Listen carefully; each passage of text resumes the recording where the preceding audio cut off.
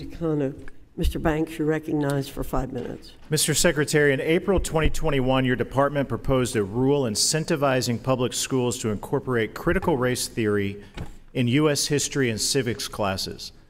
The rule cited Ibram X. Kendi's work and the 1619 Project as examples of the sort of ideas that the department would promote. However, just three months later, you backtracked on the plan and released a watered down, updated guidance that didn't mention Ibram X. Kendi or the 1619 Project.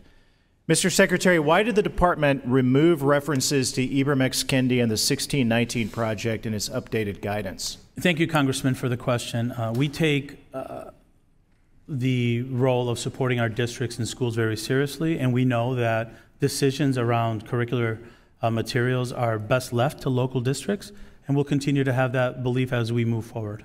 So you, you, it, it, the guidance was there to telling teachers and schools, go teach about Ibram X. Kendi and 1619 Project. You took it out. Did you take it out because you decided ultimately that what they're teaching is inappropriate to teach our kids?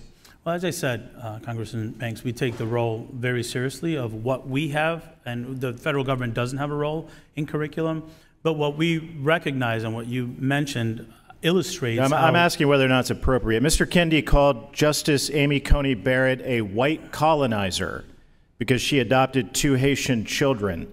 Do you think that's appropriate to teach our kids? What I was going to say earlier, sir, is Mr. Kendi also, in his book, he stated that capitalism is essentially racist. So, at one point, you wanted to teach our kids Ibram X. Kendi's uh, findings and his teachings that capitalism is racist. Do you believe capitalism is essentially racist? What I was going to say, sir, is that this issue of, uh, you know, even the grant proposals that we put out, where while we don't uh, influence curriculum, has become uh, the target of, of divisive culture wars and we choose to stay above that and really focus on supporting our districts. I don't know if it's uh, Ibram X. Kendi argued that white people created the AIDS virus. Is that divisive?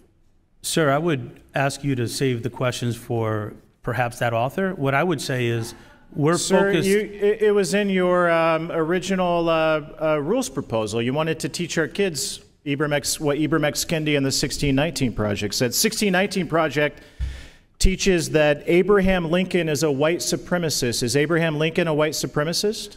Sir, again, you could choose to use your time to be divisive. I want to work together. Uh, Mr. Secretary, parents and students you, have asked in me a, in a, a, rules proposal, you wanted to teach this garbage to our kids. You eventually backtracked on it. I, I was just hoping you would tell us you backtracked on it because ultimately you you came to the conclusion that it's inappropriate to teach our kids critical race theory or some of the garbage that 1619 Project and Ibram X. Kendi uh, teach, but apparently you don't want to tell us that today. While you could choose to be divisive with your time, sir, I want to talk about what we're trying to do for the American people and what we could do together if we focus our efforts on what students uh, and Mr. parents Secretary, need. how about this?